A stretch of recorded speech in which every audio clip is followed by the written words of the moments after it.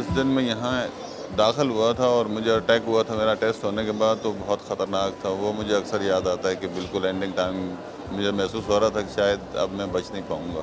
میرا نام ڈاکٹر سارا خان ہے۔ میں یہاں آخان یونیورسٹی ہاسپٹل میں نیورولوجی کی اسسٹنٹ پروفیسر ہوں۔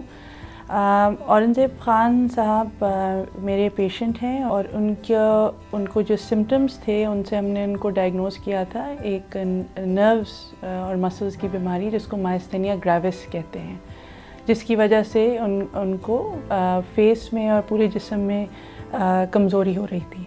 میں کراچی میں رہتا ہوں۔ میرا خاندان تو آزاد کشمیر میں اور میں یہاں پہ صرف اپنے بیوی بچوں کے ساتھ رہتا ہوں بس۔ خاندان والے تو یہاں سے بات ہے جو یہاں تھے وہ بیچارے تو تھے، پریشان ہوئے تھے۔ میں ہوم پیتھک ڈاکٹر ہیں، ڈاکٹر شمیم اعظم ان کے پاس کام کرتا ہوں کمپاؤنڈری کا کام کرتا ہوں۔ دو تین مہینے کام پہ تاثر ہوا تھا۔ اس سے پہلے تو میں کام کر رہا تھا۔ تو ہاسپٹل میں ایڈمٹ ہو کے ان کا پلازما ایکسچینج ہوا تھا اور ساری میڈیکیشنز گولیاں شروع ہوئی تھیں، جس کی وجہ سے ان کی ویکنس بہت ہم قابو میں لے آئے تھے۔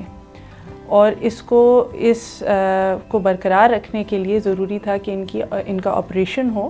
اس کے بعد سے میں ان کو ہر تین مہینے میں دیکھتی ہوں اور بالکل سٹیبل ہے نارمل کی طرف آ گئے ہیں۔ یہاں کا پتہ چلا کہ بھائی یہاں کا علاج بہت مہنگا تھا یا بہت بہت زیادہ مہنگا تھا۔ ہماری رینک سے بہت باہر تھا، لیکن پھر یہاں بتایا گیا کسی نے کہ یہاں پہ ویلفیئر دیا جاتا ہے۔